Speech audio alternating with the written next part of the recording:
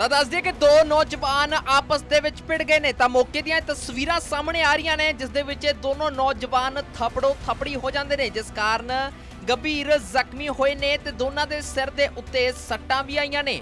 ਦੱਸ ਦਈਏ ਕਿ ਮਾਮਲਾ ਬਟਾਲਾ ਤੋਂ ਸਾਹਮਣੇ ਆਇਆ ਹੈ, ਜਿੱਥੇ ਦੋਨਾਂ ਧਿਰਾਂ ਨੇ ਇੱਕ ਦੂਸਰੇ ਤੇ ਇਲਜ਼ਾਮ ਲਗਾਏ ਨੇ, ਜਿਸ ਦੇ ਵਿੱਚ ਇੱਕ ਧਿਰ ਨੇ ਕਿਹਾ ਕਿ ਦੂਸਰਾ ਧਿਰ ਨਸ਼ਾ ਵੇਚਦਾ ਹੈ, ਜਿਸ ਨੂੰ ਲੈ ਕੇ ਇਹਨਾਂ ਦੀ ਪਹਿਲਾਂ ਹੀ ਤਕਰਾਰ ਹੈ ਤੇ ਹੁਣ ਉਹਨਾਂ ਨੇ ਉਸ ਦਾ ਫੋਨ ਚੁੱਕ ਲਿਆ ਸੀ। ਤਾਂ ਜਦ ਮੈਂ ਗੱਲ ਕਰਨ ਗਿਆ ਤਾਂ ਇਹਨਾਂ ਦੇ ਵੱਲੋਂ ਮੇਰੇ ਤੇ ਹਮਲਾ ਕਰ ਦਿੱਤਾ ਗਿਆ। ਜਦਕਿ ਦੂਸਰੇ ਧਿਰ ਨੇ ਪਹਿਲੇ ਧਿਰ ਤੇ ਸ਼ਰਾਬ 'ਚ ਧੁੱਤ ਹੋਣ ਦੇ ਇਲਜ਼ਾਮ ਲਗਾਏ ਤੇ ਕਿਹਾ ਕਿ ਉਹਨਾਂ ਦੇ ਵੱਲੋਂ ਸ਼ਰਾਬ ਦੇ ਨਸ਼ੇ ਦੇ ਵਿੱਚ ਇਹ ਲੜਾਈ ਕੀਤੀ ਗਈ ਹੈ। ਤੇ ਫੋਨ ਚੁੱਕਣ ਵਾਲੇ ਇਲਜ਼ਾਮਾਂ ਨੂੰ ਵੀ ਉਸ ਦੇ ਵੱਲੋਂ ਸਿਰੇ ਤੋਂ ਨਕਾਰਿਆ ਗਿਆ। ਤਾਂ ਦੱਸਦੀ ਕਿ ਪੁਲਿਸ ਦੇ ਵੱਲੋਂ ਦੋਨਾਂ ਧਿਰਾਂ ਦੇ ਬਿਆਨ ਦਰਜ ਕਰ ਲਏ ਨੇ ਤੇ ਕਿਹਾ ਕਿ ਬਣਦੀ ਕਾਰਵਾਈ ਕੀਤੀ ਜਾਵੇਗੀ। ਤਾਂ ਇਸ ਸੰਬੰਧੀ ਇੱਕ ਸੀਸੀਟੀਵੀ ਵੀਡੀਓ ਵੀ ਸਾਹਮਣੇ ਆਈ ਸੀ, ਜਿਸ ਦੇ ਵਿੱਚ ਇਹ ਦੋਨੋਂ ਨੌਜਵਾਨ ਆਪਸ ਦੇ ਵਿੱਚ ਲੜਦੇ ਨੇ ਥਪੜੋ ਥਪੜੀ ਹੋ ਜਾਂਦੇ ਨੇ, ਜਿਸ ਕਾਰਨ ਮੌਕੇ ਤੇ ਕਾਫੀ ਭੀੜ ਵੀ ਜੁਟ ਜਾਂਦੀ ਹੈ। ਤਾਂ ਹੁਣ ਪੁਲਿਸ ਦੇ ਵੱਲੋਂ ਸੀਸੀਟੀਵੀ ਕਬਜ਼ੇ ਦੇ ਵਿੱਚ ਲੈ ਲਈ ਗਈ ਹੈ ਤੇ ਬਣਦੀ ਕਾਰਵਾਈ ਕੀਤੀ ਜਾ ਰਹੀ ਹੈ।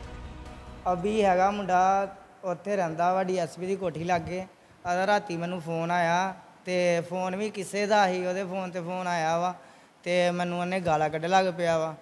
ਤੇ ਮੈਂ ਕਿਹਾ ਵੀ ਭਾਜੀ, ਮੈਂ ਤੁਹਾਡੀ ਇੰਨੀ ਇੱਜ਼ਤ ਕਰਦਾ ਵਾਂ, ਤੁਹਾਨੂੰ ਭਾਜੀ ਭਾਜੀ ਕਹਿਣਾ ਵਾਂ, ਤੁਸੀਂ ਮੈਨੂੰ ਗਾਲਾਂ ਕਿਉਂ ਕੱਢੀ ਜਾ ਰਹੇ ਹੋ ਅੰਨੇ ਹੋਰੇ ਸ਼ਰਾਬ ਪੀਤੀ ਦੀ ਸੀ ਅਦਾ ਦੇ ਘਰ ਦੇ ਲਾਗੇ ਫੰਕਸ਼ਨ ਵੀ ਹੈਗਾ ਸੀ। ਤੇ ਅੱਗੇ ਵੀ ਇੱਕ ਦੋ ਵਾਰੀ ਮੇਰੇ ਨਾਲ ਓਵਰ ਬੋਲਿਆ ਵਾ, ਪਰ ਆਪਾਂ ਹੱਥ 'ਚ ਪਾ ਦਿੰਨੇ ਗੱਲ, ਕਿਉਂਕਿ ਆਪਾਂ ਮਾੜੇ ਬੰਦੇ ਆ, ਆਪਾਂ ਲੜਨਾ ਚਾਹੁੰਦੇ ਹੀ ਨਹੀਂ ਹੈ ਕਿਸੇ ਨਾਲ, ਨਾ ਹੀ ਆਪਾਂ ਕਹਿੰਦੇ ਕਿ ਸਾਡੀ ਲੜਾਈ ਹੋਏ, ਕਿਉਂਕਿ ਸਾਡੇ ਘਰ ਦੇ ਮਾੜੇ ਆ। ਤੇ ਅੰਨੇ ਹੁਣ ਸਵੇਰੇ ਰਾਤੀ ਇਹਨੇ ਮੈਨੂੰ ਗਾਲਾਂ ਕੱਢੀਆਂ, ਮੈਂ ਗੱਲ ਭੁੱਲ ਗਿਆ ਦਾ ਸੀ ਮੈਨੂੰ ਚੇਤਾ, ਮੈਂ ਕਿਹਾ ਛੱਡ ਪਰਾਂ, ਮਹੱਲੇ 'ਚ ਰਹਿਣਾ ਵਾਂ। ਤੇ ਫੇਰ ਹੋ ਜਾਏਗੀ ਸੁਲਾ ਸਲਾਈ ਮਾੜੀਆਂ ਮੋਟੀਆਂ ਗੱਲਾਂ ਮਟੋਲਾ ਹੁੰਦੀਆਂ ਰਹਿੰਦੀਆਂ ਵਾ।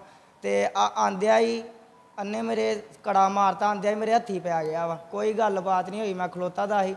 ਆਂਦਿਆ ਹੀ ਮੇਰੇ ਹੱਥੀ ਪਾ- ਗਿਆ ਵਾ। ਮੇਰੇ ਕੜਾ ਮਾਰਤਾ ਆਂਦਿਆ ਮੇਰੇ ਨਾਲ ਘੁੱਲ ਲੱਗ ਪਿਆ ਵਾ ਬਸ ਆਹੀ ਗੱਲ ਜੀ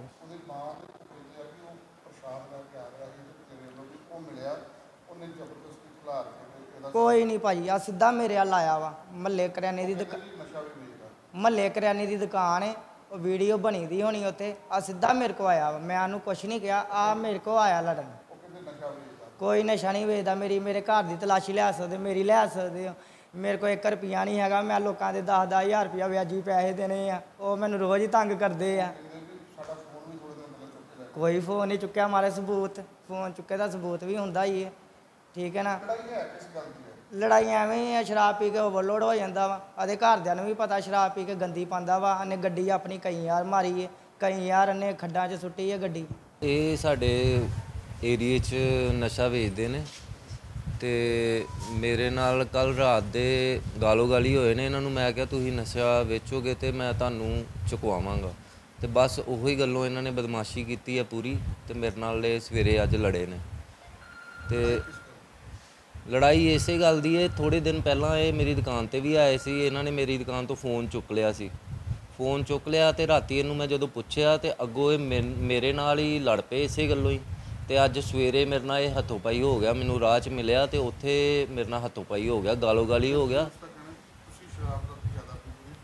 ਮੈਂ ਸ਼ਰਾਬ ਪੀਤੀ ਦੀ ਸੀ, ਸ਼ਰਾਬ ਮੇਰਾ ਟੈਸਟ ਕਰਾ ਲਿੱਤਾ ਜਾਏ, ਜੇ ਸ਼ਰਾਬ ਆ ਜੇ ਤੇ ਮੈਂ ਕਹਾਂਗਾ ਮੈਂ ਪੀਤੀ ਦੀ ਸੀ। ਮੇਰੇ ਮਹੱਲੇ 'ਚ ਪੂਰੇ ਗਵਾਹ ਨੇ ਜਿਹੜਾ ਪੂਰਾ ਮਹੱਲਾ ਗਵਾਹ ਦੇਗਾ ਕਿ ਇਹ ਬੰਦੇ ਕਿੱਦਾਂ ਦੇ ਨੇ ਤੇ ਮੈਂ ਕਿੱਦਾਂ ਦਾ ਵਾਂ। ਤੁਸੀਂ ਉੱਥੋਂ ਏਰੀਏ 'ਚ ਆ ਕੇ ਪੁੱਛ ਲਿੱਤਾ ਜਾਵੇ ਕਿ ਮੈਂ ਕਿੱਦਾਂ ਦਾ ਮਨੀ ਮੇਸ਼ ਚੱਲਿਆ ਸੀ। ਅੱਜ ਸਰ ਇਹਨੂੰ ਮੈਂ ਕੱਲ ਰਾਤ ਵੱਲੋਂ ਬਸ ਇਹਨੂੰ ਮੈਂ ਪੁੱਛਿਆ ਵਾ ਤੇ ਅੱਗੋਂ ਮੇਰੇ ਨਾਲ ਹੱਥੋਂ ਪਾਈ ਹੋ ਗਿਆ ਜੀ। ਉਸ ਤੋਂ ਬਾਅਦ ਇਹਨੇ ਮੇਰੇ ਨਾਲ ਕੋਈ ਗੱਲ ਨਹੀਂ ਕੀਤੀ ਇਹਨੇ ਮੇਰੇ ਸਿਰ ਤੇ ਉਹ ਜੇਬ ਚੋਂ ਕੁਝ ਕੱਢਿਆ ਵਾ ਤੇ ਉਹ ਮੇਰੇ ਸਿਰ ਤੇ ਮਾਰਿਆ ਵਾ। ਮੈਂ ਤੇ ਕੁਝ ਨਹੀਂ ਸੀ ਮੇਰੇ ਹੱਥ 'ਚ ਜੀ। ਇਹ ਹੁਣੀ ਉਸ ਮਿਸ਼ਨ ਵਿੱਚ ਝਗੜਾ ਹੋਇਆ ਵਾ, ਯੁਗ ਵਿੱਚ ਦੋਵਾਂ ਪਾਰਟੀਆਂ ਦੋਵਾਂ ਪਾਰਟੀਆਂ ਦੇ ਆਪਸ ਵਿੱਚ ਸਿਰ ਸੱਟਾਂ ਲੱਗੀਆਂ ਵਾ ਤੇ ਦੋਵਾਂ ਪਾਰਟੀਆਂ ਹਸਪੀਟਲ ਗਈਆਂ ਵਾ। ਜੋ ਵੀ ਐਮਐਲ ਦਾ ਰਹੇਗੀ, ਜਿਸ ਤਰ੍ਹਾਂ ਦਾ ਉਹਨਾਂ ਦਾ ਮੈਡੀਕਲ ਆਏਗਾ ਵੈਰੀਫਾਈ ਕਰਕੇ ਉਹਨਾਂ ਦੇ ਖਿਲਾਫ ਜੋ ਵੀ ਕਿਸੇ ਬੰਦੀ ਕਾਰਵਾਈ ਕਰਾਂਗੇ।